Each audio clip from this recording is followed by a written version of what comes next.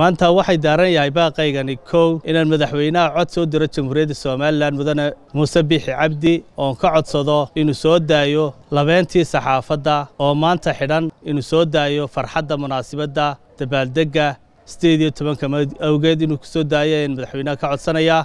Xildhibaan axmed yaasiin maxamed xasan oo ka mid ah mudanayaasha golaha wakiilada somalilan oo telefishinka c b a kula hadlay magaalada hargeysa waxa uu madaxweynaha somalilan muuse biixi cabdi ugu baaqay inuu xorriyaddooda dib ugu soo celiyo saxafiyiinta ku xidhan jeerasha magaalada hargeysa. Xuska siddeed iyo tobanka mey oo inagu soo foollay islamarkaana shacbiga somalilan ay si weyn u faraxsan yihiin sida uu xildhibaanku madaxweynaha ugu baaqay.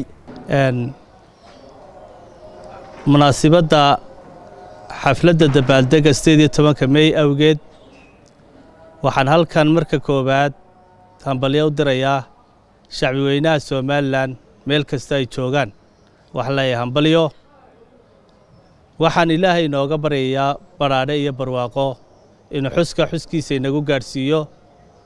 Sideed iyo tobanka mey sanadka dambe inakoo wada jir. Midnimo iyo qarannimo iyo walaalnimo inuu ilaahay inagu gaadhsiiyo. Abaaraha jirana inuu ilaahay inaga soo furto. Maanta waxay daaran yahay baaqaygani kow inaan madaxweynaha cod soo diro jamhuuriyadda somalilan mudane muuse biixi cabdi oon ka codsado inuu soo daayo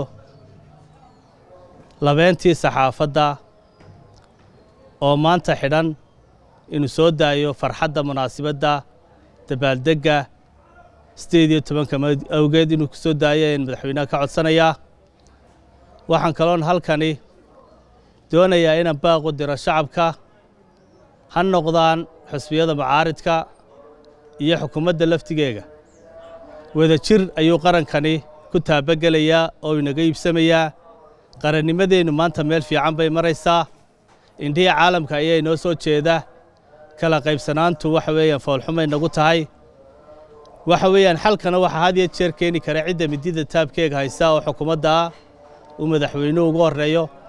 Mudane madaxweyne wax isku soo dhoweeye odaye waxa weeyaan taasaa qarankeennu ku hagaagayaa waxaan kaloon doonayaa shacbiga ugu horraan ugu badnaadaan dhallinyartu waa xooggii weeyaan.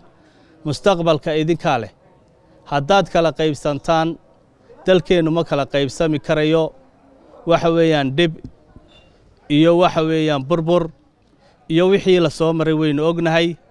Marka waxaan doonayaa inaan idaransiiyo midnimo wax lagu noqonayaa qarannimo wax lagu noqonayaa durmaanka cidda idiin tumaysa khaladkaa ka foojignaada hadday xukuumadda tahay iyo hadday cid kale tahayba.